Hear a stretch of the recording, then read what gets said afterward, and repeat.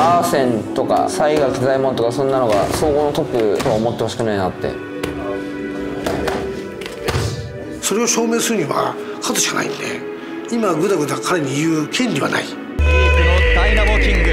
今の俺は今までで一番強いと大塚貴文です、はい。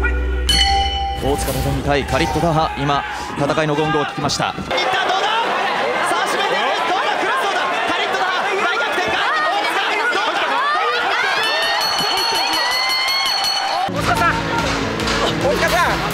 ちゃった。勝っちゃった。やっちゃった。